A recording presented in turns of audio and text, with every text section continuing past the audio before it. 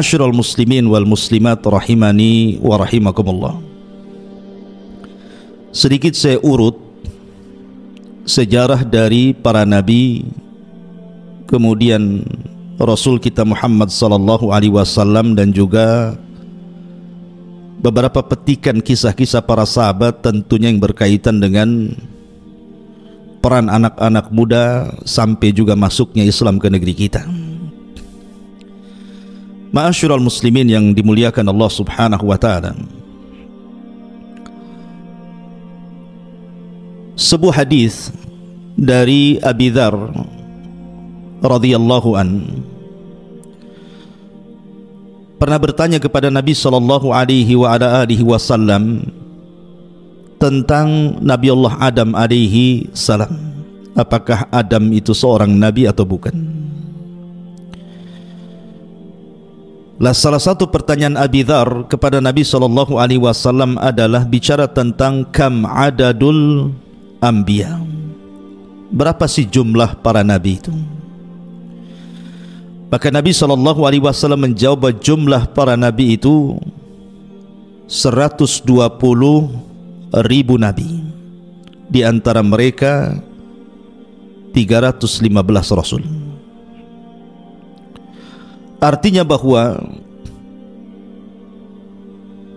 Allah Subhanahu wa taala mengutus utusannya sebanyak itu tentu tidak lain dan bukan dalam rangka memperbaiki manusia. Walaupun yang kita kenal namanya di dalam Al-Qur'anul Karim hanya 25 nabi dan rasul. Itu pun tercantum nama-namanya 18 di antaranya tercantum dalam surah Al-An'am dan sisanya tercantum di beberapa surat dalam Al-Quran sehingga genap menjadi 25 Nabi dan Rasul. Dari 25 Nabi dan Rasul pun tidak semua dikisahkan dalam Al-Quran. Ada yang hanya disebut namanya tapi tidak ada kisahnya. Seperti contohnya Aliyasa Zulkifli, Ilyas. Itu tidak ada kisahnya tapi namanya disebutkan dalam Al-Quran. Atau ada nabi itu yang hanya dikisahkan secara global saja. Seperti kisah Nabi Shu'aib, Nabi Saleh, Nabi Lut gitu ya. Tapi ada juga nabi luar biasa. Dari 25 nabi dan rasul diceritakan secara detail seperti Nabi Allah Ibrahim alaihi salam Nabi Musa alaihi salam itu luar biasa rincian dalam Al-Qur'anul Karim. Lah kenapa Allah subhanahu wa ta'ala menceritakan kisah-kisah ini? Bahkan sepertiga Al-Quran itu bicara tentang kisah. Karena Quran itu kan dibagi menjadi tiga. Sepertiganya bicara tauhid sepertiganya bicara hukum-hukum ibadah dan sepertiganya bicara tentang qasas, tentang kisah-kisah umat-umat terdahulu. Apa hikmahnya? Allah Subhanahu wa taala berfirman di dalam Al-Qur'anul Karim di antara hikmahnya adalah wa kullan naqussu 'alaika min amba'ir rusul ma nuthabbitu bihi fuadak dan kami kisahkan kepada wahai Muhammad tentang kisah-kisah para rasul, kisah-kisah para nabi sebelummu. Itu dalam rangka memantapkan hatimu. Dan ibrah dalam Al-Qur'an itu bukan hanya khitabnya kepada Nabi sallallahu alaihi wasallam saja, tetapi juga khitabnya kepada kita sebagai umatnya seolah-olah Allah Subhanahu wa taala ingin katakan ketika Allah Subhanahu wa taala menceritakan para nabi dan rasul dalam Al-Qur'an itu ada sebuah pelajaran besar. Ketika Allah Subhanahu wa taala umpamanya menceritakan tentang kisah Nabi Nuh ada pelajaran besar bagaimana kesabaran Nabi Nuh dalam menghadapi dakwah terhadap kaumnya. Maka itu akan dialami oleh setiap para pendakwah Ketika Allah Subhanahu wa taala mengkisahkan kisah Nabi Ayub alaihi salam seolah-olah Allah ingin memberikan pelajaran kepada kita bahwa kita dituntut untuk sabar ketika mendapatkan musibah. Bagaimana Ayub sabarnya ketika diberikan musibah oleh Allah Azza wa Jal berupa penyakit 18 tahun dia sabar dengan penyakitnya. Ketika Allah Subhanahu wa taala mengkisahkan kisah Lut umpamanya bahwa Lut dihadapkan kepada sebuah kaum yang rusak akhlaknya.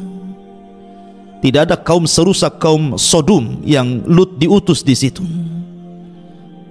Bahwa generasi anak muda akan menghadapi masa-masa yang mungkin pernah terjadi di zaman Nabi Lut dan bagaimana cara mengatasinya. Maka Allah kisahkan. Ya atau seperti Allah Subhanahu wa taala mengkisahkan umpamanya kisah Nabi Allah Ibrahim alaihi salatu wasalam bagaimana Ibrahim anak muda yang tangguh ketika berhadapan dengan Namrud dan itu akan dialami oleh setiap para duat dan para dai. Dan begitu seterusnya artinya bahwa tidak ada yang tidak ada pelajarannya. Ketika Allah Subhanahu wa taala mengkisahkan para nabi terutama kisah Nabi kita Muhammad sallallahu alaihi wasallam. Banyak pelajaran bahkan syarat pelajaran yang Anda akan dapati ketika kita bicara tentang kisah sosok manusia terbaik umat ini Rasul Muhammad sallallahu alaihi wasallam. Nanti saya akan uraikan kisah-kisah pelajaran-pelajaran khususnya untuk membangkitkan generasi anak muda di zaman sekarang bagaimana menghadapi fitnah yang sudah menyebar di tengah-tengah kita. Masyurul muslimin yang dimuliakan Allah Subhanahu wa taala. Kalau kita melihat beberapa kisah dalam Al-Qur'anul Karim yang berkaitan dengan peran anak muda atau generasi muda itu luar biasa. Al-Qur'an itu menceritakan tentang kisah-kisah anak-anak muda yang kita bisa petik pelajarannya. Yang pertama, Anda bisa baca dalam surah Al-Anbiya ayat 58 atau 60 sampai 58 eh, apa 58 sampai 60. Ketika Allah Subhanahu wa taala mengkisahkan sosok anak muda yang Allah Subhanahu wa taala katakan qalu sami'na fatan yadhkuruhum yuqalu lahu Ibrahim. Mereka berkata bahwa kami mendengar ada anak muda. Lihat bahasa Quran Allah mengatakan dengan kalimat fatan Anak muda. Anak muda ini bernama Ibrahim. Maksudnya Nabi Allah Ibrahim alaihi salam Nabi Ibrahim alaihi salatu wassalam adalah anak muda pemberani. Bayangkan dia sendirian menghadapi penguasa dunia yang zalim. Namrud. Kita tahu bahwa di dunia ini ada empat raja yang pernah menguasai dunia. Dua mukmin dan dua kafir. Adapun yang mukmin adalah Nabiullah Sulaiman alaihi salam dan juga Raja Zulkarnain yang disebutkan dalam surah Al-Kahfi Adapun yang kafir ada namanya Namrud dan juga Bukhtun Nasr yang menghancurkan Palestina dan membantai kaum Yahudi pada zamannya. Lah ada anak muda namanya Ibrahim alaihi salam sendirian menghadapi raja yang sangat zalim. Dengan keberaniannya dia menghancurkan patung-patung istana. Sebenarnya tujuan Ibrahim bukan menghancurkan patung buat apa patung dihancurkan? Toh juga bisa dibuat lagi. Hari ini patung dihancurkan besok bisa diproduksi lagi. Tapi Nabi Ibrahim ingin memberikan pelajaran dengan kecerdasannya. Itulah bedanya anak muda dengan orang tua tuh. Anak muda itu punya kecerdasan ketika pengalaman tidak bisa menjadi solusi maka kecerdasan itu diperlukan bagaimana Ibrahim ini menjadikan sosok anak muda yang cerdas. Tujuan dia menghancurkan patung bukan menghancurkan patungnya. Buat apa patung dihancurkan? Nanti dibuat lagi, diproduksi lagi. Tapi Ibrahim ingin mengatakan kepada Namrud dan para penyembah berhala di zaman itu bahwa berhala-berhala yang dianggap Tuhan oleh kalian itu jangan lagi melindungi kalian, melindungi diri mereka sendiri saja tidak sanggup. Lalu buat apa disembah? Kalau tidak bisa mendatangkan manfaat dan tidak bisa mencegah madarat. Lihat bagaimana peran anak muda Ibrahim alaihi salam. Pemuda yang cerdas. Ini satu kisah. Kisah yang kedua disebutkan dalam surah Al-Kahfi ayat 11 sampai 25. Ketika Allah Subhanahu wa taala menceritakan tentang tujuh anak muda. Allah Subhanahu wa taala berfirman, "Id awal fit iyatu ilal kahfi faqalu Rabbana atina min ladunka rahmatan wa hayyi lana min amrina rasyada." Ingatlah ketika para pemuda, sekali lagi Allah menyebutnya dengan kalimat para pemuda, bukan orang tua. Ini generasi-generasi muda di zaman itu. Ingatlah ketika para pemuda-pemuda itu berlindung ke dalam gua. Lalu mereka berdoa, Ya Allah, berikanlah rahmat kepada kami dari sisimu dan sempurnakan petunjuk yang lurus bagi kami dalam urusan kami. Dahulu, ketika ada sebuah acara kerajaan pada zaman Romawi dulu, maka diundanglah para pejabat dari daerah-daerah. Masalahnya dalam acara kerajaan itu disuruh untuk menyembah berhala. Rupanya ada anak-anak muda yang mereka mengikuti ajaran Isa bin Maryam sehingga mereka mentauhidkan Allah karena di zaman itu agama yang paling benar adalah agama Isa bin Maryam sebelum datang Islam fitrah mereka menolak tidak mau menyembah berhala Akhirnya kemudian salah satu anak pejabat yang hadir tidak mau ikut dalam acara itu. Satu, kemudian datang lagi satu, kemudian datang lagi satu sampai tujuh anak muda. Awalnya tidak saling kenal. Kemudian tiba-tiba mereka berkumpul di satu tempat. Awalnya tidak saling bicara karena takut curiga mencurigai dengan yang lainnya. Setelah membuka pembicaraan satu dengan yang lainnya rupanya mereka ada kesepakatan bahwa mereka mengingkari acara kerajaan yang penuh dengan kesyirikan itu. Tetapi kemudian perkumpulan mereka ketahuan. Mereka pun ditangkap. Kemudian mereka dipaksa untuk menyembah berhala kalau tidak mereka dibunuh akhirnya mereka pun meminta diberikan kesempatan untuk berfikir tiga hari rupanya tiga hari ini digunakan untuk kabur Maka kemudian larilah tujuh anak muda ini dan seekor anjing. Rupanya mereka lari ke perbukitan, di situlah menemukan sebuah gua yang sangat dalam, yang sangat besar. Dalam bahasa Arab disebut kahfun namanya. Makanya suratnya disebut suratul kahfi. Dalam bahasa Arab gua itu ada dua jenis, ada namanya ghar. Seperti Rasul itu di ghari hira namanya.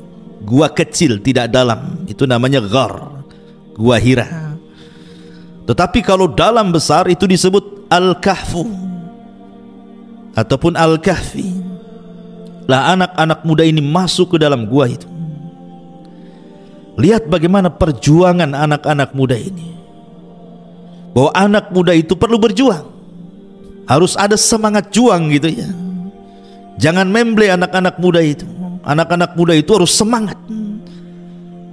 Sehingga kemudian Ashabul Kahfi ini masuk ke dalam gua sempat pasukan itu menemukan gua itu tapi karena mereka takut masuk akhirnya mereka menimbun pintu gua itu dengan alasan supaya mereka mati di dalam tetapi Allah subhanahu wa ta'ala rupanya sudah tidurkan anak muda ini tiga abad lebih 300 tahun lebih anak muda ditidurkan oleh Allah subhanahu wa ta'ala subhanallah anehnya ketika mereka terbangun Rupanya raja zalim itu sudah mati digantikan raja yang baik.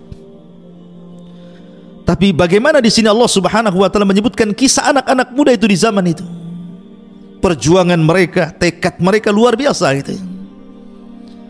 Ini juga satu kisah anak-anak muda yang disebutkan dalam surah Al-Kahfi ayat 11 sampai 25 dan seterusnya. Kemudian juga Anda bisa baca dalam surah Yusuf ayat 24 sampai seterusnya. Ketika bercerita tentang Nabi Yusuf alaihi salam di mana Allah Subhanahu wa taala menyebutnya Yusuf itu dengan kalimat fataha anak muda wa qala niswatun fil madinati imra'atul aziz turawidu fataha an nafsihi qad saghafaha hubba dan perempuan-perempuan di kota itu berkata istri Al-Aziz menggoda dan merayu pelayannya yang masih muda. Di sini Allah Subhanahu wa taala menyebut dengan kalimat fata. Fata itu anak-anak muda artinya. Yusuf ketika itu anak muda. Dalam sirah itu disebutkan usianya 20 tahun. Ketika dirayu oleh Zulaiha itu. Dan usia 20 tahun masih muda. Ya. Jadi Nabi Yusuf alaihi salatu wasallam ketika dibeli oleh Imratu Aziz itu usianya 10 tahun. Kemudian tinggal di rumah Al Aziz itu 10 tahun. Jadi usianya 20 tahun tuh. Nampak ketampanannya. Ketika kemudian Zulaiha tertarik dengan Nabi Allah Yusuf alaihi salatu wasallam seorang nabi yang diberikan separuh ketampanan Adam itu. Bahkan dijelaskan itu pintu itu sudah tertutup terkunci sehingga Yusuf tidak mungkin keluar dari situ tapi Nabi Yusuf anak muda yang menjaga kehormatannya dan ini diperlukan anak-anak muda yang seperti ini di zaman sekarang ini zaman yang penuh dengan fitnah ini diperlukan kebersihan hati seperti Nabi Yusuf. Bagaimana Yusuf itu mampu menghalau godaan Zulaiha wanita yang cantik seorang pejabat, orang kaya, dia yang mengajak berzina di tempat yang suci sunyi, tidak ada orang yang tahu. Tetapi karena hatinya yang bersih Nabi Yusuf ini takut kepada Allah Subhanahu wa taala, dia pun mengatakan ma'adzallah, aku berlindung kepada Allah. Anyahlah kau dariku. Lihat.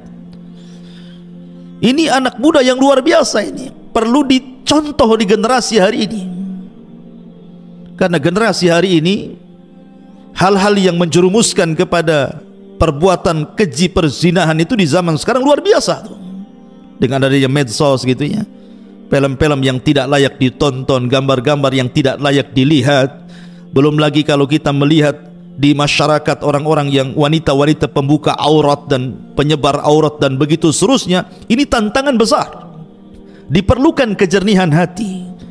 Diperlukan menjaga kesucian dan itu besar pahalanya. Nabi sallallahu alaihi wasallam sampai mengatakan sab'atun yudhilluhumullahu fi dhillihi yauma la dhilla illa dhilluh ada tujuh kelompok yang akan mendapatkan naungan di hari yang tidak ada naungan kecuali naungan Allah. Salah satunya adalah rajulun da'athu imra'atun dhata zamalin dhata mansabin wa jamalin.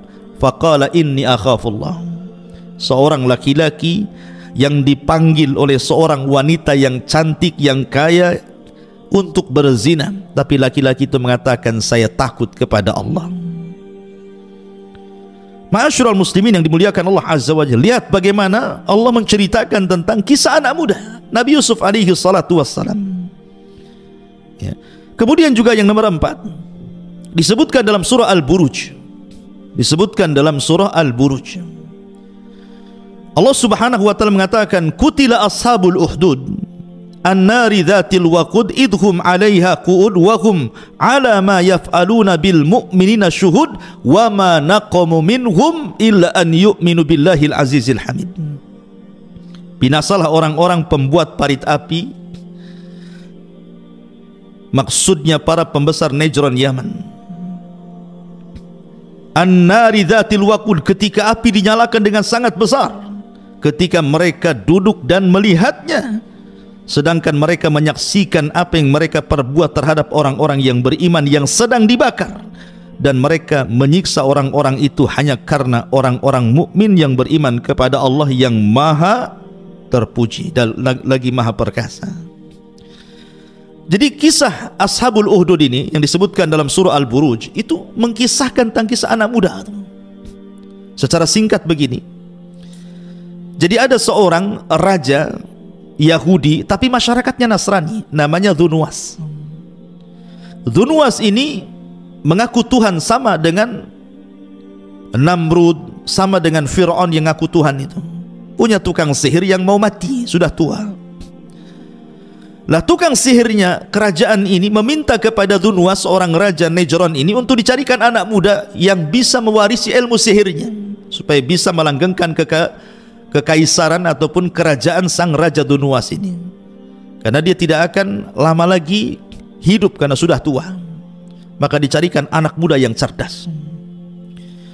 Maka kemudian tukang sihir ini mewariskan ilmu sihirnya kepada anak muda yang cerdas ini. Masalahnya anak muda ini setiap jalan dari rumah ke tempat tukang sihir itu melewati sebuah kanisa, sebuah gereja. Karena di zaman itu kan agama yang paling benar agama Nasrani karena belum ada Islam. Penasaranlah anak muda ini kok ada tempat ibadah berbeda. Masuklah dia berjumpalah dengan seorang rahib. Akhirnya lambat laun belajar. Jadi satu hari itu dia belajar di dua tempat. Satu belajar di gereja, belajar agama Nasrani. Satu di rumah tukang sihir belajar sihir. Akhirnya kemudian ilmu sang rahib lebih kemudian dipilih dibandingkan ilmu tukang sihir ini sampai akhirnya kemudian ketika dia ingin membanding-banding ini benar mana nih? Ilmu tukang sihir kah? Ataukah ilmu sang rahib ini? Dia mendengar di sebuah tempat ada binatang yang suka mengganggu orang. Kemudian dia pun mendatangi tempat tersebut diambilnya kerikil sebiji jari. Kemudian dia pun mengatakan ya Rabb kalau seandainya ilmu yang di ajarkan kepadaku dari sang rahib jauh lebih benar dibandingkan ilmu tukang sihir ini maka tolonglah bunuhlah binatang yang mengganggu masyarakat itu. Tanpa dia berkomat kamit tanpa dia membaca mantra. Ya, karena dia hanya tawakal dengan ilmu sang rahib. Dilemparnya batu itu kena pula binatang yang buas itu mati seketika tanpa menggunakan sihir. Langsung mati dari situ dia yakin bahwa agama sang raib jauh lebih benar dibandingkan tukang sihir. Dari situ dia tinggalkan ilmu sihir. Dia fokus belajar agama kepada sang rahib. Kemudian setelah itu dia pun keluar dan menjadi seorang topik. Bahkan sampai bisa menyembuhkan orang buta. Lah Dhunwas ini punya penasehat. Buta orangnya mendengar ada anak muda bisa mengobati penyakit buta dipanggil ke rumahnya. Tapi anak muda ini ingat dia bukan hanya menjadi tobib tobib itu hanya sekedar wasilah dakwah. Jadi setiap dia mengobati orang anak muda ini mengatakan saya akan obati penyakitmu tapi syaratnya kau akan beriman kepada Allah Azza wa Jal. Oh, inilah anak muda. Ya jadi kalau engkau mau kusembuhkan, aku akan berdoa akan kesembuhanmu. Syaratnya cuma satu, beriman kepada Allah. Harusnya seperti itu. Jadikan semua wasilah itu digunakan untuk dakwah. Harusnya anak muda itu kreatif gitu ya.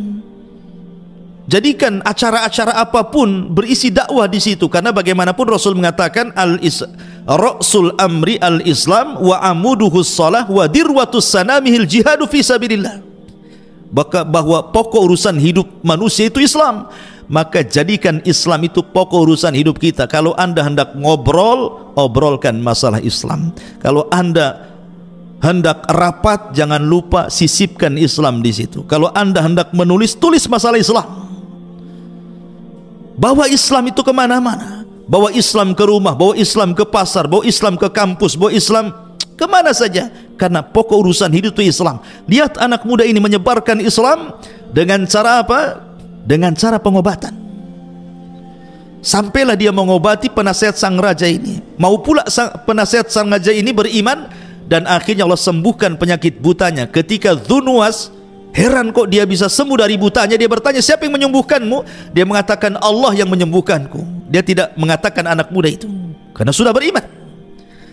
Tapi sang raja marah karena dia kan mengaku Tuhan. Kok dia pula ada Tuhan yang bisa menyembuhkan penyakitnya? Ah, ini kan sudah menyelisih ketuhanannya. Ditangkaplah penasehatnya, dipaksa siapa yang menyembuhkannya. Akhirnya karena disiksa tidak tahan, ditunjukilah anak muda, ditangkap pula anak muda itu. Subhanallah. Kemudian anak muda dipaksa dan siapa yang mengajarinya? Karena tidak tahan juga disiksa, terpaksa dikasih sang rahib, ditangkap pula sang rahib itu.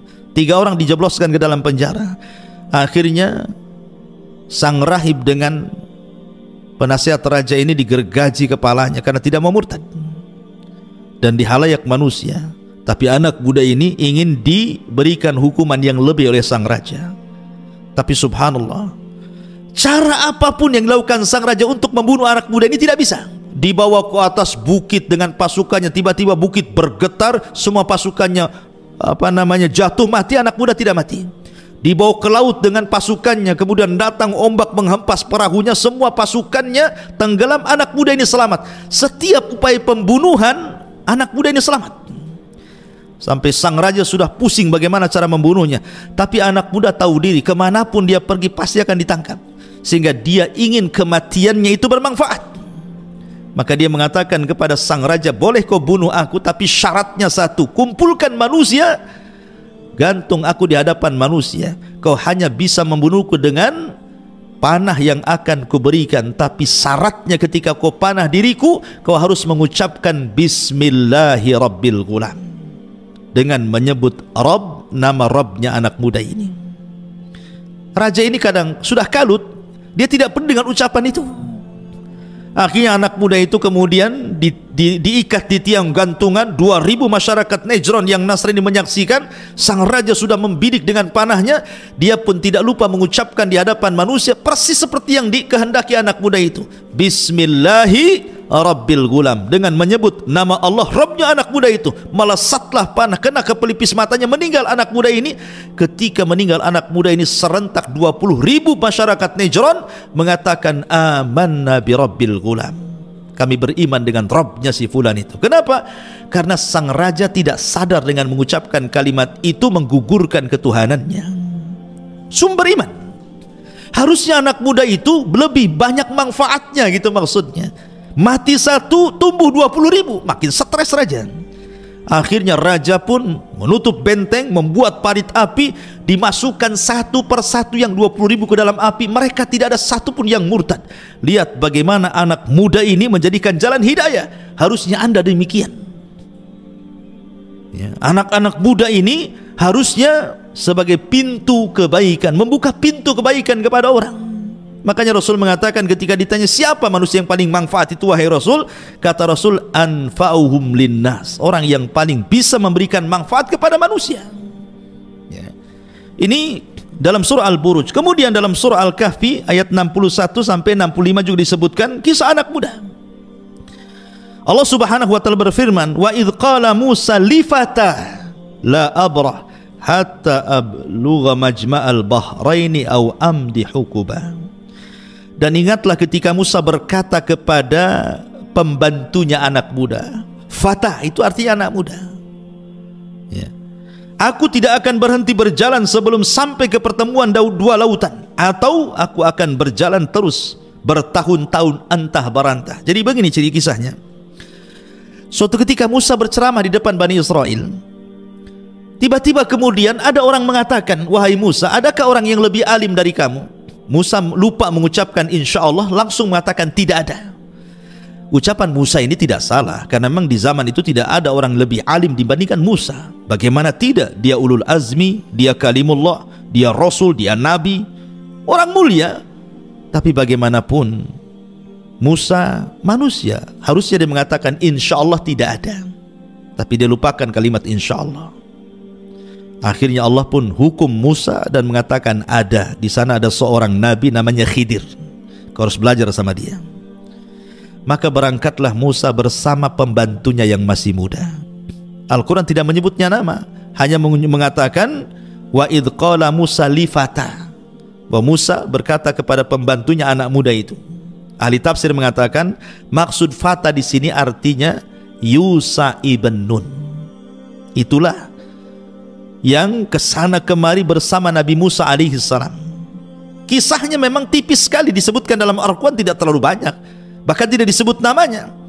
Hanya diiringkan dengan kisah Nabi Musa ketika bicara tentang Nabi Khidir. Yang ingin saya katakan, Anda tahu siapa Yusa ibn Nun? Memang kisahnya hanya diselipkan dalam kisah Nabi Musa ketika belajar kepada Khidir tetapi dia punya prestasi yang jauh lebih hebat dibandingkan Musa dan Harun. Yusa ibn Nun ini. Apa prestasinya coba?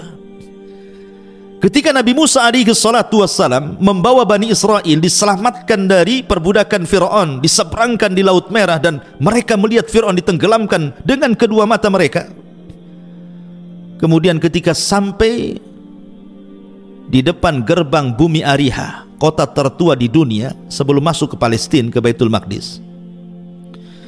Di situ sudah ada para penghuni dari kalim dari kaum Kanaaniun, kaum keturunan Ad, orangnya besar-besar, menghuni Ariha dan itu pintu masuk ke Baitul Maqdis. Artinya Musa tidak bisa membebaskan Baitul Maqdis kecuali harus memerangi orang-orang Kanaaniun yang ada di negeri itu.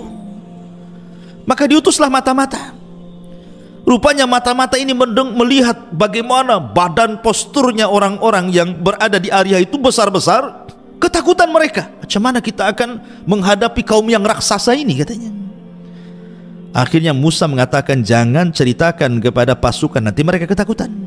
Tapi mereka berkhianat hanya dua orang yang tidak menceritakan salah satunya Yusa ibn Nun.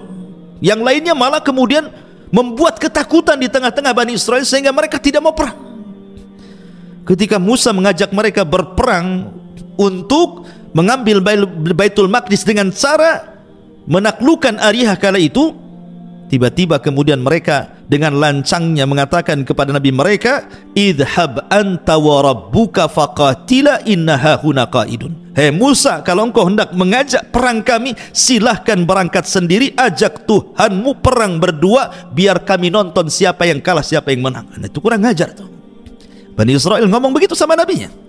Ya. Akhirnya kemudian Allah pun adab Bani Israel terpaksa mereka harus dibuat linglung di negeri yang disebut dengan Ardute. Mereka tidak bisa keluar dari situ di gurun pasir, panas kering, kelontang, nggak ada tumbuhan, nggak ada tanaman. 40 tahun mereka tinggal di situ. Sampai Musa meninggal di situ, Harun pun meninggal di situ. Tidak bisa merebut Baitul Maqdis baru datang generasi pemberani dipimpin Yusa ibn Nun. Bayangkan tadinya seorang pembantu Nabi Musa tapi karena ke mana-mana bersama Nabi akhirnya diangkat jadi Nabi juga. Yusa ibn Nun diangkat jadi Nabi. Nabi Yusa ibn Nun dialah yang memimpin generasi setelah Musa dan Harun dan berhasil merebut Baitul Maqdis. Bahkan satu-satunya Nabi yang memiliki mukjizat mampu menahan matahari dialah Yusa ibn Nun ketika peperangan itu masuk ke hari Sabtu hampir matahari tenggelam dan masuk hari Sabtu sementara orang-orang Yahudi itu sangat memuliakan hari Sabtu tidak boleh ada perang. Maka Yusa tidak mau menghentikan perang. Dia pun mengatakan kepada matahari wahai matahari kau diperintah Allah aku juga diperintah Allah maka jangan kau tenggelam dulu sampai perang ini dimenangkan. Matahari itu diam tidak mentenggelam. Sampai betul-betul dimenangkan baru tenggelam. Nah, itulah mujizatnya Yusa ibn Nun ya. Tapi lihat bagaimana Yusa ibn Nun ini anak muda yang kisahnya itu hanya ditempelkan di kisah Nabi Musa dengan Khidir, tapi prestasinya melebihi Nabi Musa. Bisa memerdekakan Baitul Maqdis. Dia tidak dikenal. Ya, begitulah anak muda. Anda tidak mesti harus dikenal, tetapi prestasi itulah yang menentukan kesuksesan Anda. Harusnya seperti itu. Gak apa-apa gak dikenal orang, tapi prestasinya dikenal. Ha, itulah generasi anak muda namanya buat prestasi yang membanggakan kepada umat ini. Apa prestasi Anda itu? Ma'asyiral muslimin yang dimuliakan Allah Subhanahu wa taala. Ini lima kisah yang disebutkan dalam Al-Quran semua bicara tentang anak muda. Kemudian yang terakhir kisah Nabi kita. Nabi Muhammad sallallahu alaihi wasallam uswatun hasanah. Karena Quran hanya menyebut, menyebut uswatun hasanah di tiga ayat berbicara kepada dua nabi pertama Ibrahim yang kedua Rasul kita Muhammad sallallahu alaihi wasallam. Lihat bagaimana perjalanan kehidupan Nabi sallallahu alaihi wasallam. Subhanallah. Kalau anda meneliti kisah Nabi sallallahu alaihi wasallam luar biasa. Seandainya saya menceritakan kisah Nabi Muhammad sallallahu alaihi wasallam dari awal sampai akhir dengan cara rinci mungkin usia saya sudah meninggal kisahnya belum selesai. Kalau betul-betul dikisahkan gitu ya. Mulai daripada akhlaknya, kehidupannya dan begitu seterusnya luar biasa. Sebelum diangkat menjadi nabi saja, Nabi sallallahu alaihi wasallam itu anak muda yang dikenal akhlaknya luar biasa, sadiqul amin. Orangnya sadik, jujur, dan juga amanah. Bayangkan ketika usia 12 tahun Nabi sallallahu alaihi wasallam itu diajak oleh pamannya Abu Talib untuk berdagang ke Syam. Tetapi masalahnya ketika sampai di perbatasan Syam, rupanya dicegat oleh seorang Buhaira, seorang rahib namanya Buhaira Rahib. Ini seorang pastor yang sangat ekstrim gitu ya. Kalau melihat uh, sirahnya gitu dia diusir oleh pastor-pastor yang lain karena terlalu ekstrim ya karena terlalu memegang ajaran uh, Nasraninya itu di zaman itu. Lah pastor ini atau rahib ini karena dia banyak membaca sehingga dia akhirnya meramalkan sebuah ramalan tentang akan munculnya seorang nabi. Kemudian ketika pada waktu Rasul berjalan dengan Abu Talib rupanya tanda-tanda itu ada. Makanya dia kemudian menunggu di perjalanan setiap ada kapilah yang datang dari negeri Arab ke Syam dicegat. Kemudian dilihat ada nggak tanda-tanda kenabian? Sampailah ketika kapilah Abi Talib kemudian berpapasan dengan dia. Dilihat ada tanda-tanda yang aneh. Dihentikan kemudian diajak makan. Rupanya betul apa yang selama ini ditunggu-tunggu tentang kemunculan seorang nabi nabi itu sudah ada di hadapannya. Rasul ketika itu masih usia 12 tahun. Apalagi ketika melihat stempel kenabian yang ada di bahu rasul maka makin jelaslah bahwa dia seorang nabi. Dari situ kata Buhairah Rahib sebaiknya jangan kau lanjutkan perjalanan wahai Abu Talib ke Syam sebab kalau orang-orang Yahudi di Syam tahu dia bakal seorang nabi akan dibunuh dia. Sebaiknya pulang lagi maka Nabi SAW tidak jadi ke Syam. Kemudian pulang lagi. Tetapi Nabi SAW usia 12 tahun ya usia 12 tahun itu kalau sekarang mungkin baru SD SMP aja belum. 12 tahun itu. Belum lulus SD kan. Tapi Nabi SAW sudah pekerja keras. Ketika dia tidak bisa dilatih apa berniaga ke Syam ingat orang Arab itu orang Mekah khususnya di zaman itu yang namanya dunia perdagangan itu itu sudah mengakar dan mengurat di darah-darah mereka. Memang mereka luar biasa pakar-pakar dagang. Sampai Allah Subhanahu wa taala abadikan kebiasaan mereka dengan firman-Nya li ila fi quraisyin ila fihim rihlatas syita'i was jadi kebiasaan orang-orang Mekah di zaman itu suka rihlah melakukan perniagaan di musim dingin dan musim panas ke Syam dan juga ke Yaman ya. sehingga dari kecil tuh mereka sudah ahli-ahli dagang. Nah itulah bagaimana kemudian Nabi SAW mengajarkan kepada kita khususnya kita ya anak-anak muda generasi muda itu dilatih kemandirian. Nabi loh sudah menjadi penggembala kambing cari uang. Di usia SD mungkin di zaman sekarang ya itu sudah cari uang jadi penggembala kambing di Kararitol kaum Ya artinya orang-orang kaya yang punya kambing nanti saya rawat kambingnya, ah, kamu kasih upah berapa? Ya. Itulah pekerjaan Nabi SAW Dari sini ada ibrah kepada kita apa? Kemandirian, jangan nyusahkan orang tua Ini subhanallah Terkadang anak-anak muda di zaman sekarang Dari, dari SD Orang tua yang kasih biaya Masuk SMP gitu lagi SMA iya Sudah jadi masuk juga ke universitas sudah keluar masih nyusahkan orang tua. Kan ada orang kayak gitu tuh. Masih minta mah pah. Wala quwata illa billah. Harusnya kan mandiri gitu ya.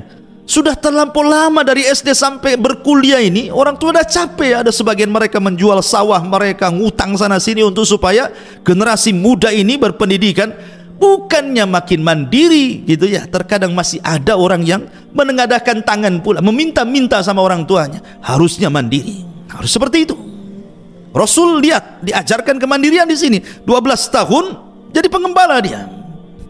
Subhanallah. Ini ada kenapa sebutan Sadiqul Amin kenapa sampai muncul? Begini ceritanya. Jadi Nabi SAW itu kan banyak kawan-kawan sesama penggembala tuh. Sama penggembala jadi ketika ada musim-musim pernikahan, walimatul arush gitu ya.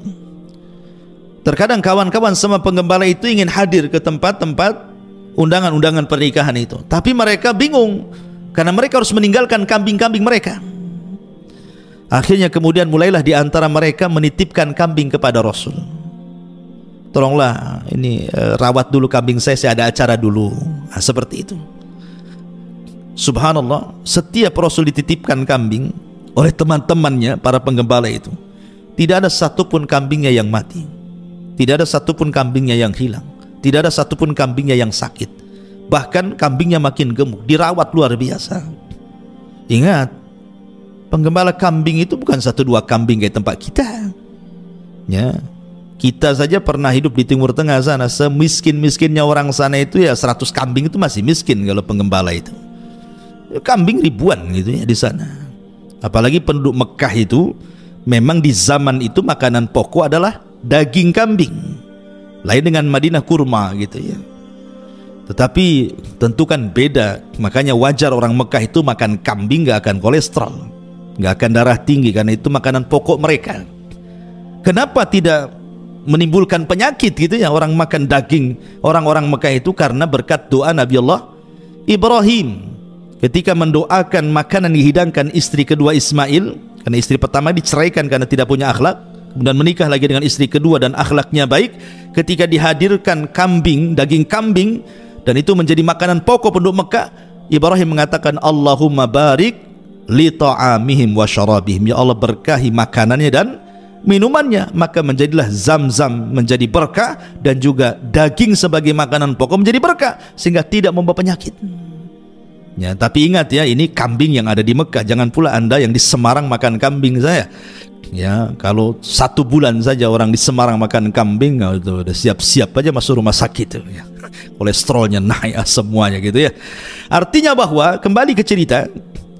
Jadi Nabi SAW ketika dititipi apa namanya sesama penggembala itu amanah luar biasa. Mulailah tersebar akhlak di tengah-tengah para penggembala kambing dan Nabi itu jarang jarang bergaul dengan anak-anak muda ya tidak tidak bebas bergaul gitu memilih-milih. Kalaupun hadir di walimatul arus karena di zaman itu kan minuman khamar dan begitu seterusnya masih diminum gitu. Paling Nabi SAW terkadang tertidur entah apa yang terjadi kemudian selesai kemudian pulang. Intinya bahwa Nabi mulai terkenal dengan amanahnya ah, al-amin. Kemudian Rasul tidak pernah berdusta maka disebut sadiq orang yang jujur. Melekatlah kalimat sadiqul amin. Makanya ini pula yang kemudian ketika di usia 20 tahun tiba-tiba ada seorang wanita tahirah yang suci Khadijah bintu Huwailid wanita tajir kaya raya. Seandainya kekayaannya dikumpulkan dengan seluruh kekayaan laki-laki kaya di zaman itu tetap Khadijah masih kaya. Wanita kaya luar biasa. Tapi sudah disebut tahirah. Tahirah itu wanita suci karena dia menutup auratnya. Padahal belum ada Islam. Rasul pun belum diangkat jadi nabi. Tapi dia sudah menutup aurat tuh. Khadijah itu. Makanya disebut tahirah wanita suci. Mendengar kok ada anak muda yang baik tertariklah dia. Dicari akhirnya berkenalan dengan Nabi SAW diajak kerjasama. Berdagang dengan sistem mudorobah Akhirnya Khadijah melihat bagaimana akhlak yang luar biasa, bagaimana keuntungan yang melimpah dan begitu seterusnya. Belakangan dia tertarik dan ingin menikah dengan Nabi sallallahu alaihi wasallam. Lah dari sini saja kita bisa petik banyak pelajaran. Ya. Bagaimana anak muda ini Nabi SAW mengajarkan kepada kita hmm, akhlak yang luar biasa. Rasul di usia 20 tahun ke bawah nih. Ya. Tetapi lihat akhlaknya sudah dikenal akhlaknya sudah dikenal harusnya generasi muda ini nah ini yang paling dipentingkan hari ini akhlak yang tidak ada yang hilang pada generasi muda hari ini akhlak akhlak kepada orang tua sudah hilang, akhlak kepada kerabat sudah hilang, akhlak kepada tetangga sudah hilang, kepada guru-guru dan begitu seterusnya. Ini akhlak yang hilang ini. Harus tanamkan akhlak-akhlak yang betul-betul. Jangan sampai kemudian anak muda ini mengikuti tren. Ya kan? Jadilah anak-anak muda yang berakhlak. Kebaikan juga jangan mengikuti tren. Kebaikan itu harus dasari ilmu. Sebab kalau kebaikan ngikuti tren nanti hilang trennya, hilang pula kebaikannya. Trennya orang oh baca Quran sekian satu tiga hari berapa juz gitu. Tren aja. Nanti hilang trennya, hilang pula baca Qurannya gitu maksudnya ya. Artinya kebaikan itu dilakukan karena ilmu, bukan karena ngikuti tren. Karena ilmu yang mendidik dia sehingga menjadikan seseorang itu berakhlak. Lah ini yang harus ditanamkan anak-anak muda di zaman sekarang, akhlak. Ustaz akhlak itu apa sebenarnya? Saya akan sebutkan perkataan Abdullah ibn Mubarak, akhlak itu hanya tiga kata saja. Anda kalau mengikuti tiga kata Anda berakhlak. Akhlak itu kaful adha wa badlun nadha wa talaqatul wajhi. Kata Abdullah ibn Mubarak, tiga kata saja. Kaful adha. Jangan menyakiti orang. Baik dengan lisan ataupun dengan perbuatan ataupun dengan hati. Makanya Rasul mengatakan al muslimuna man salimal muslimuna min lisanihi wa yadi. Seorang muslim dikatakan muslim itu ketika muslim lain selamat dari lisan kita dan tangan kita. Jangan sakiti orang. Dengan lisan kita karena anak muda di zaman sekarang ini kan subhanallah kadang mengucapkan kalimat tidak dipikir dulu. Enggak berakhlak lagi sudah Wah kalau sudah marah itu kalimat-kalimat binatang semua keluar. Cacian, makian, laknatan itu sudah biasa anak-anak muda zaman sekarang ini. Kesenggol sedikit sakit hati langsung memaki orang gitu. La haula wala quwata illa billah. Maka cerminan akhlak itu bisa menjaga lisan tidak mengeluarkan kata-kata kecuali yang baik kalau tidak bisa diam. Atau perbuatan atau mungkin hati mudah suudon sama orang gitu ya Kemudian yang kedua badlun nada kata Abdullah bin Marok. Badlun nada itu artinya mudah menolong. Oh, anak muda sekarang mudah menolong. Harusnya mudah menolong. Apalah yang bisa saya bantu? Anda bisa ilmu, sebarkan ilmu. Anda bisa punya tenaga dengan tenaganya, dengan jabatannya, dengan apanya? Apa yang bisa Anda lakukan untuk Islam, lakukan. Kemudian tolakatul wajhi. Jangan lupa punya wajah yang tidak menyeramkan orang. Mudah senyum. Ya mudah senyum lihat bagaimana Nabi Allah Sulaiman ketika melihat senyum apa semut yang bicara kepada sesama semutnya ketika Sulaiman hendak berjalan dengan pasukannya kata raja semut masuklah kalian kepada lubang-lubang kalian la yakhtimannakum Sulaiman wa junuduhu wa hum jangan sampai Sulaiman dan pasukannya menginjak kalian sementara mereka tidak tidak tahu Sulaiman paham bahasa binatang apa Ketika mendengar Raja Semut ngomong begitu, fatabassama dhahika min qawliha. Sulaiman pun senyum dan tertawa kepada semut. Kalau semut saja disenyumi sama Sulaiman, ya harusnya sama orang lebih senyum lah kan begitu. Ya, tapi jangan pula kita ada semut senyum pula ke semut Anda gitu ya. Artinya bahwa di sini bagaimana Sulaiman mengajarkan akhlak senyum. Ya, senyum itu penting. Orang kalau biasa senyum pasti manis senyumnya. Orang kalau jarang senyum sekali senyum tuh pahit rasanya. Ini apa kok senyum senyum ini ada masalah ini kan gitu. Ya. Masyurul muslimin yang dimuliakan Allah Subhanahu wa taala. Intinya bahwa Nabi mengajarkan akhlak itu anak muda luar biasa. Makanya Rasul mengatakan bu'ithu liutamima makarimal akhlak. Makanya ketika dia diangkat jadi nabi dan rasul tidak ada yang mencela akhlak Nabi. Tidak ada. Ketika Rasul diangkat jadi Nabi dan Rasul tidak ada yang mencela akhlak Nabi. Ya. Nggak ada yang mencela akhlak Nabi. Mereka tidak menerima dakwah Nabi itu bukan dari segi akhlaknya, tapi dari segi konten dakwahnya. Mereka tidak mau dinasehati, tidak ketika Nabi SAW mengajarkan tauhid untuk meninggalkan berhala, mereka nggak mau itu saja. Mereka berpegang kepada ajaran anak nenek moyang mereka. Dan subhanallah di zaman periode Mekah itu yang banyak masuk Islam anak muda. Orang tua itu susah masuk Islam Abu Jahal, CS itu susah masuk Islam. Mereka lebih berpegang kepada nenek moyang mereka. Anak-anak muda itu yang masuk Islam. Abu Bakar, Umar, Uthman. Al-Asharatul Mubashiruna bil Jannah. Kalau anda tahu, 10 sahabat yang dijadikan masuk sorga itu. Itu semua anak muda. Yang usianya 30 tahun ke atas cuma tiga orang. Abu Bakar, Uthman, Abdurrahman, Ibn Auf. Coba. Yang usianya 30 tahun ke bawah itu lima orang. Bahkan yang usianya 20 tahun ke bawah itu dua orang. Artinya itu anak-anak muda. Dan semua menjadi pemimpin Islam. Sepuluh sahabat injikan masuk surga itu semua menjadi pemimpin Islam. Bukan pemimpin Arab, pemimpin Islam. Semua menorehkan sejarah. Dan semua mengajarkan pendidikan kepada generasi muda Lihat Abu Bakar, Umar, Uthman, Ali, Tolha, Zubair. Subhanallah. Kalau anda membaca biografi mereka, luar biasa. Pelajaran besar bagi generasi muda itu. Ma'asyiral muslimin, coba. Nabi SAW berdakwah itu tidak lama. Berbeda dengan nabi-nabi sebelumnya. Nuh berdakwah kepada kaumnya berapa tahun? Alfasanatin illa khamsina ama. Seribu dikurangi 50 tahun. Berarti 950 tahun Nuh itu berdakwah. Setiap 20 tahun sekali baru dapat satu pengikut. Sehingga pengikutnya tidak banyak Nuh itu. Yang di perahunya itu. Walaupun menjadi cikal bakal manusia sampai hari ini. Makanya Nuh disebut Abul Am Abul Bashari Thani bapak manusia kedua. Karena semua manusia nasabnya kepada tiga putra Nuh tapi lihat dakwahnya Nabi Nuh. 950 tahun dengan berbagai macam metode. Dari yang lembut sampai yang keras.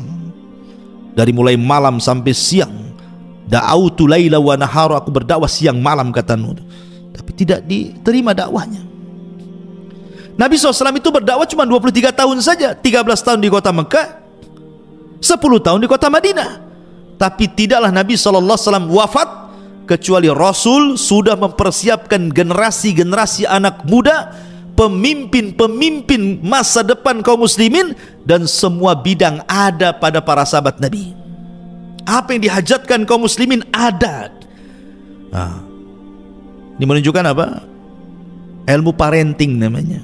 Bagaimana Nabi Wasallam itu membuat pendidikan yang sangat berhasil. Tidak perlu belajar parenting ke barat itu Nabi sudah mengajarkan tidaklah Rasul wafat kecuali generasinya sudah ada. Semuanya berhasil. Yang dihajatkan kaum muslimin ada semua di para sahabat. Semua ada. Gak ada yang gak ada. Apa yang dihajatkan manusia ada semuanya di para sahabat. Siapa yang mendidik mereka? Nabi. Generasi sahabat. Anak-anak muda luar biasa. Bahkan kalau anda lihat para pakar hadis hmm itu semua anak muda. Ya. Masyurul muslimin yang dimuliakan Allah Azza wa Jalla. Siapa para pakar hadis saya contohkan? Pakar hadis itu maksudnya yang banyak meriwayatkan hadis kepada kita Abu Hurairah, Abdullah ibn Umar, Anas ibn Malik, Aisyah, Abdullah ibn Abbas, Jabir bin Abdullah, Abu Said Al-Khudri. Ini tujuh orang yang dikenal al-mukthiruna fil hadis yang banyak meriwayatkan hadis Nabi sampai kepada kita ini yang dikeluarkan oleh para pengeluar hadis Muslim, Bukhari, Abi Dawud dan begitu seterusnya itu kebanyakan dari tujuh sahabat ini. Mereka lah orang-orang yang banyak meriwayatkan di atas seribu hadis maksudnya gitu. Jadi sahabat-sahabat yang meriwayatkan hadis sampai kepada kita di atas seribu hadis. Dan yang terbanyak adalah Abu Hurairah lima ribu hadis lebih gitu ya. Tapi kita lihat Abu Hurairah radhiyallahu an anak muda Ya. Abdullah bin Umar anak muda. Bahkan Abdullah bin Abbas itu berjumpa dengan Rasul cuma tiga tahun saja. Kemudian Rasul meninggal dunia. Tapi tidak menghalangi menjadi ulama dunia. Abdullah bin Abbas itu. Anak muda. Usia 13 tahun, Rasul sudah meninggal. Karena ketika dia dibawa oleh bapaknya Abbas itu dari Mekah ke Madinah pada tahun 7 Hijriah, baru berjumpa dengan Rasul di usia 10 tahun. Sehingga 11 Hijriah Rasul meninggal hanya berjumpa tiga tahun bersama Rasul. Tapi lihat tiga tahun perjalanan bersama Rasul menjadikan Abdullah bin Abbas ulama besar. Hanya tiga tahun saja. Menunjukkan kegigihan Abdullah bin Abbas tentunya dalam belajar. Ya, dalam belajar. Anas bin Malik menjadi pembantu Rasul gitu ya. Di usia 10 tahun sampai wafatnya Nabi. Jadi ulama besar Jabir bin Abdullah, Abu Sa'id Al-Khudri, bahkan Ummul Min Aisyah radhiyallahu anha, ini semua usia-usia muda tuh. Ber apa namanya? usia muda, cerdas, berkualitas dan juga menorehkan banyak sejarah. Lah harusnya anak-anak muda seperti itu. Ada satu kisah menarik. Jadi di zaman Nabi Shallallahu Alaihi Wasallam eh, ini di zaman sahabat, anak-anak sahabat, anak-anak para sahabat Nabi Shallallahu Alaihi Wasallam, usianya masih muda muda, masih belasan tahun, ya mungkin usia-usia SMP lah di zaman sekarang ini. Di sana ada Abdullah ibn Umar, kemudian Mus'ab, kemudian Urwah, kemudian apa namanya uh, satunya Abdul Malik ibn Marwan. Jadi empat sahabat ini, anak-anak sahabat ini, anak-anak sahabat nih, Abdullah ibn Umar, anak daripada Umar ibn Khattab. Kemudian Mus'ab ibn Zubair, putra daripada Zubair ibn Awam. Urwah ibn Zubair juga sama, putra daripada Zubair ibn Awam. Kemudian Abdul Malik ibn Marwan. Abdul Malik ibn Marwan. Putra daripada Marwan. Sahabat Nabi. Jadi anak-anak muda ini kumpul di depan Ka'bah. Ya, karena mereka bukan anak-anak muda jalanan, bukan anak-anak muda yang hidup di jalan-jalan, trek-trekan, zaman sekarang ini kan nongkrong di jembatan, bukan. Mereka bukan anak-anak muda gaya anak muda zaman sekarang gitu ya. Nongkrong tapi pegang-pegang botol minuman keras. Nah, mereka anak-anak muda terdidik. Yang namanya anak-anak muda terdidik tentu kalau berkumpul yang dibicarakan pasti soal cita-cita masa depan. Kamu kalau sudah besar nanti ingin jadi apa gitu bahasanya. Itulah anak muda. Harusnya seperti itu anak muda ini. Ini kumpul kalau laki-laki cerita perempuan. Kalau perempuan cerita laki-laki. Mau jadi apa anda ini? Ya. Lihat bagaimana ini empat anak-anak sahabat ini bercerita tentang cita-cita. Yang lain mengatakan wahai Mus'ab, kalau engkau besar ingin jadi apa? Ya. Kalau engkau wahai Urwah ingin jadi apa? Kalau engkau ya Abdullah ibn Malik ingin jadi apa? Maka kata Mus'ab dia mengatakan, kalau aku besar, aku ingin menjadi orang besar dan menikahi dua wanita dari pembesar Aisyah bintu Tolha dan Sakinah bintul Hasan ada Urwah mengatakan kalau aku tidak, aku ingin menjadi ulama yang diambil ilmunya. Ah, ini luar biasa. Apa kata Urwah? Saya ingin menjadi ulama atamanna an yu'khad anil ilmu. Aku bercita-cita aku ini jadi orang alim dan orang-orang mengambil ilmu dariku. Luar biasa himmahnya ini. Kemudian Abdul Malik bin kalau saya tidak, saya bercita-cita menjadi khalifah. Itu kan mantap cita-citanya gitu. Cita-cita besar semua tuh. Dalam riwayat juga Abdullah bin Zubair ikut juga di situ. Saya ingin menjadi penguasa Hijaz katanya. Luar biasa ini. Lihat anak-anak muda itu kalau ngomong cita-citanya itu masa depan dia. Ya. Anak muda zaman sekarang ini cita-citanya aneh-aneh. Subhanallah ya. Kalau udah kumpul sesama mereka itu yang diceritakan tidak jelas gitu. Ya. Lihat anak-anak muda di zaman itu menjadi percontohan memiliki cita-cita besar ke depan membangun bangsa membangun peradaban ilmu begitu ya itulah cita-cita mereka giliran mereka tanya sama Abdullah ibn Umar. Abdullah ibn diam saja. Orang mereka wahai Abdullah ibn Umar kalau engkau dari tadi diam kau ini kalau sudah besar nanti ingin jadi apa? Subhanallah. Abdullah ibn Umar lain pula dia cita-citanya. Dia mengatakan ataman tamannaitu an adkhulal jannah. Aku hanya bercita-cita ingin masuk surga. ini yang satu lain nih. Ini yang yang empat ini atau yang tiga tadi itu bicara tentang dunia semua tuh. Ya. Tapi yang satu ini pula cerita akhirat. Subhanallah. Karena mereka anak-anak muda yang gigi, yang betul-betul mengejar cita-cita. Semua yang dicita-citakan menjadi kenyataan semuanya. Urwah menjadi ulama besar. Siapa tidak kenal Urwah ibn Zubair? Walim ulama besar. Seorang talabul ilmi harus kenal siapa Urwah. Kalau anda baca kitab-kitab tafsir, banyak kemudian tafsir-tafsir yang diambil dari perkataan Urwah Ibn Zubair ini. Abdul Malik Ibn Marwan menjadi khalifah. Abdullah Ibn Zubair menjadi khalifah. semua ter, ter, tercapai cita-citanya kecuali Abdullah ibn Umar ya karena cita-citanya tidak di dunia dia dia cita-cita ingin masuk surga ya kan tapi lihat himmahnya luar biasa semangatnya loh. Itulah anak muda namanya ya. Itu anak muda. Didikan siapa mereka coba? Didikan Nabi Shallallahu Alaihi Wasallam. Nabi yang mendidik mereka seperti itu. Ya. jadi generasi muda harus bangkitnya. Jangan loyo ya. Justru dari para sahabat Nabi inilah kemudian Islam tersebar ke mana-mana. Di zaman Khulafaur Rashidin saja sudah ke mana-mana tuh di zaman Uthman saja sampai ke daratan Afrika sana. Bahkan di zaman Uthman inilah sabda Rasul terbuka bahwa kalian akan membawa pasukan melewati lautan. Di zaman Uthman terjadi melewati lautan sampai daratan Afrika itu kemudian dikuasai kaum muslimin. Dan di zaman khalifah khulafaur rasyidin sudah hampir sebagian besar dunia sudah tersebar Islam ke mana-mana. Ya. Sampai kemudian dengan berkembangnya Islam dari satu daerah ke daerah berikutnya sampai pula ke negeri kita. Walaupun tentu dengan berbanyak berbagai macam versi lah Islam masuk ke Nusantara ini. Ada yang versi Gujarat tahun berapa itu? Tiga 13 uh, abad 13 Masehi gitu ya. Ada yang mengatakan versi Persia gitu ya. Ada yang mengatakan versinya uh, Arab Mekah gitu ya. Ada mengatakan versi Cina macam-macam. Tapi intinya bahwa akhirnya Islam pula masuk ke negeri kita. Dan ini sebuah nikmat besar. Kalaulah bukan karena nikmatul Islam, kita tidak akan pernah bahagia. Karena Islam ini agama kebahagiaan. Yang mendidik generasi-generasi muda menjadi generasi-generasi terbaik umat ini.